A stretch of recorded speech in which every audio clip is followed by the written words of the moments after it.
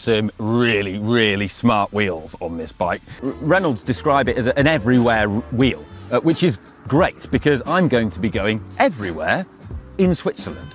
Reynolds are also kindly supporting us in this challenge. So these are their black label 46 Pro disc brake wheels. Crucially though, they're also very light, 1397 grams a pair. They also have some beautiful hubs. Like, let's free hub sound check it.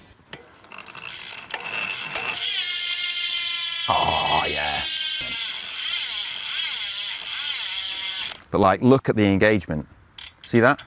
Like, hardly move the crank. So they're very wide as well, 31 millimeters external, 21 millimeters internal. So optimized for 28 millimeter tires.